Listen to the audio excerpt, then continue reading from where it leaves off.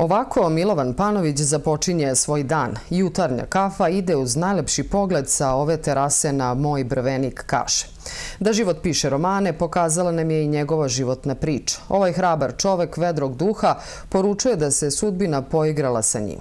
Uz pesmu su mu prolazili dani koji se nižu i danas, bez obzira na progresiju bolesti koji, pored tima lekara, nije uspela da se sanira i, nažalost, završila se amputacijom obe noge.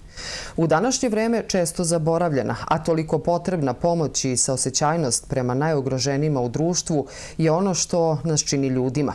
Humanost je naša vrednost, poručili su nam penzioneri iz Raške i Brvenika, koji su za Milovana obezbedili materijali i sa ljudima dobre volje napravili lift na njegovoj kući, za koji Milovan kaže da mu ne treba ništa drugo, jer ovaj lift je za njega kao da su mu dali drugi život.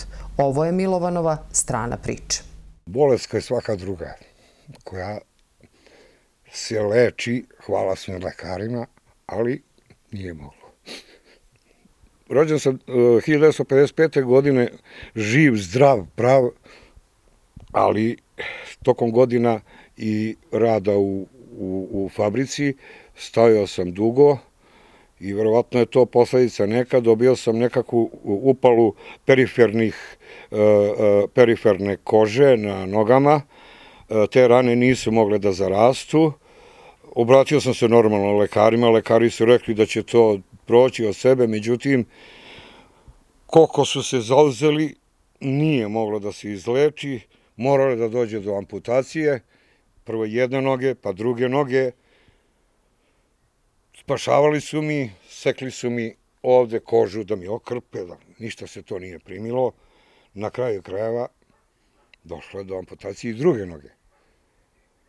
Ako mi pitate kako sam to podneo, pa to je teklo godinu, dve, nekako su me i oni, hvala im, e, pripremali za to, a ležao sam u bolnici sa sve takvim ljudima gdje sam ja njima bio podrška. Ali, evo što kažu, hvalim te Bože, glava je ostala na ramenu, ostalo je to kako je ostalo, bez nogu, teško, ali zahvaljujući moje deci, komšijama, rodbini i evo na kraju i mom udruženju penzionera na predlog mog predsjednika ovdje u Brviniku, Radoša Karadžića, tu gledajući ovdje, kaže, ma mogli bi da napravimo jedan liptić, da ti siđeš dole, pošto su mene donje odaje, tu imam alat, ja sam nešto ima istorisao i tako dalje. Pa rekao, ako je moguće, ipak je to skupo, što bi rekli. I on je predložio ovaj, udruženju penzionera Raške, odbor je to saslušao, prihvatio i evo na čelu sa predsjednikom Milinkom Pantovićem su donili odluku da me časta evo sa ovim liptom, što bi rekli da mi daju drugi život. Jer ja sad mogu da siđem na nultu tačku, a odavde ja sam kupio jedan i trotinetić mali, da ja mogu da odem i malo i do prodavnice, pa i do kafane, ako se bude moglo. Milovan je član penzionera i blagajnik u mesnoj organizaciji penzionera Brvenik. Oni su mene pomagali, jeste, ja sam tu, što bi rekli, hteli smo malo do do dolaska ovog mog predsjednika ovdje u Vrvniku je to bilo nešto mrtvo, nije bilo. I kad, kad je Radoš došao na čelo tu, mi smo se malo angažovali, to je bilo i više penzionera, entuzijasta da to nešto malo izdignemo na neki nivo i zahvaljujući, kažem, udruženju penzionera Raške, oni su ovaj, nama pripomogli u dosta stvari, tako da smo mi to malo oživeli tu, to je malo mesto i krenulo kako je krenulo, lepo je krenulo, malo je tih ovaj, ovde penzionera, ali malo, ali dobro, što bi rekli. Tako da je ovaj, evo, što kažu, ovim gestom, što bi rekli, neka ovo ode negde u etar, da je ovo jedan najprimer za ostala mesta u Srbiji. Nek se vidi da ti penzioneri nisu vre, da su, da su, da su živi još ovaj, i, i, i aktivni na kraju krajeva. Tako da, ja kažem, još jednom se zahvaljujem svim komšijama, prijateljima, rođicama, pogotovo sad, evo, mom udruženju. I apelovao bih isto na članove penzionere, eh, penzionere koji nisu članovi. da dođu ovo udruženje, da omasovimo još više, e, više glava, pametnih glava će još više da donese neki doprinos. Ne samo za Rašku, nego i za Srbiju celu. To je neki treće doba koje se živi, može da se bude srećeno i u trećem dobu. I ovako kakav sam ja, ma nastavlja se da se živi i dalje. Plemenitost i čovekoljublje najlepše su i najvrednije čovekove osobine. Nema veće lepote i radosti nego kada se spoje humanost i plemenitost, niti većeg razloga za ponos kada znamo da među nama postoje ovakvi ljudi koje prkose svim nevoljama, kaže predsjednik Udruženja penzionera opštine Raška. Prvo da poželim da niko od naših penzionera ne dođe u situaciju da mu ovako pomažemo.